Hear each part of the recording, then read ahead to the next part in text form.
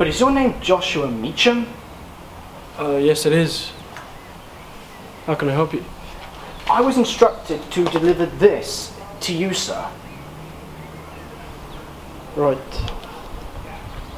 Who's it from? Oh, I did not catch a name. But the person who gave me that was most insistent that you get it, sir. Well, uh, thank you. Very good. Good day, sir.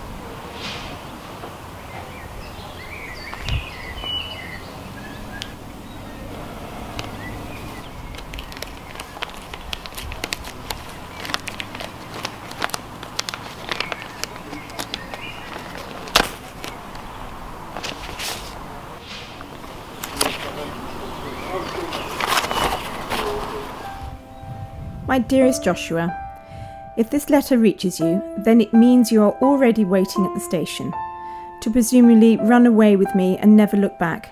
But the thing is, my love, I'm not coming. I imagine these will be distressing words for you to read, and believe me, I have difficulty of my own just writing this letter. Ever since I met you, my life has changed in many ways, and you will always have a special place in my heart because of this. But you're going about this the wrong way. This isn't brief encounter. This is real life, Joshua. And it has consequences for both you, me, and the people that we leave behind. If you were to just ignore all that, then you'd be living in denial. I've been in your life, and I could not live with myself if we ran away knowing that you left so many of those wonderful things behind and I don't want to be the reason for that.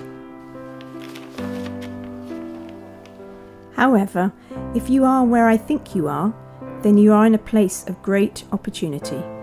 At this station, a train could arrive to take you far away and leave your entire life behind you. Or you could just depart the station the way you came in and return to the life that you have been neglecting for such a long time. Your family, your work, and even your heart are all extraordinary and marvellous things to possess. The kind of things that very few people have, especially if you worked so hard to gain these privileges. This is why I caught an earlier train to London this morning. There I will find what I'm looking for.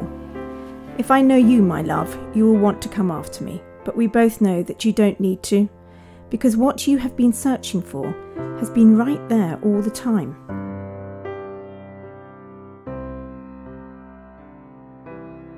You're a wonderful man, Joshua Meacham, with a wonderful life. You don't have to waste it on me, but this is entirely up to you. Godspeed to you, my love. I can only hope you do what makes you feel fulfilled. From the one you love, Diana.